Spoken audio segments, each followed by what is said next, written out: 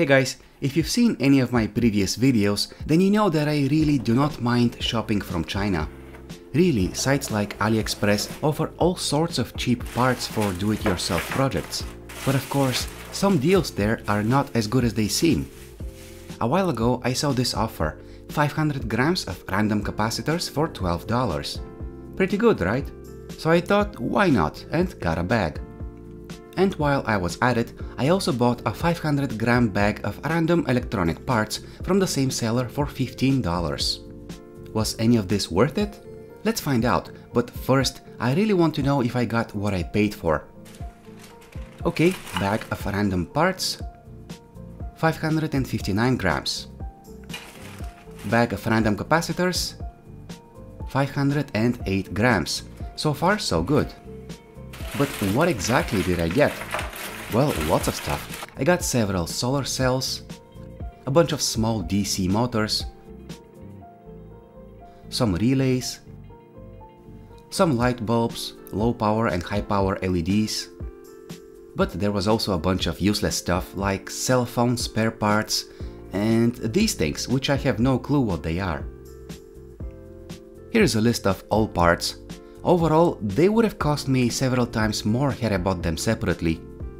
On the other hand, I do not think that I'll ever need most of the stuff I got, so that's why I can't say that the bag of random parts was a good deal.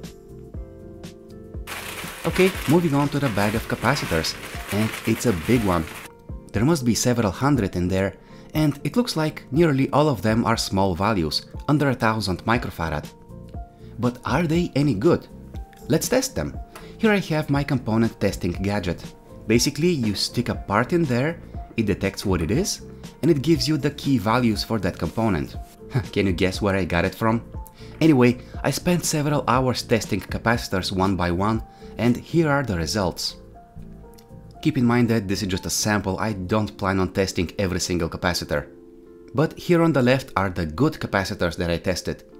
Their actual capacity comes close enough to what's printed on them, and their equivalent series resistance, or ESR, is pretty low, below 1 ohm. On the right are what I think are bad capacitors.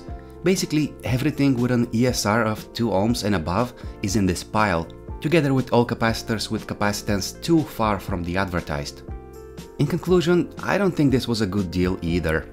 A lot of the capacitors that I got are of low quality, so if you want to fill your parts bin on the cheap, it's probably not a good idea to get these.